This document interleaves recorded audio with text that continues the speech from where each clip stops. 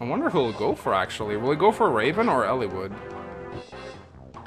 I guess we'll find out. Is this gonna be the run under? I think he might go for Raven, because Raven has less luck. Oh no, he's going for Canas. Hey, old man. Give me everything. Whew! Oh! Oh, oh, call an ambulance! Call an ambulance! But not for me! Oh! And Canas gets the 5% crit!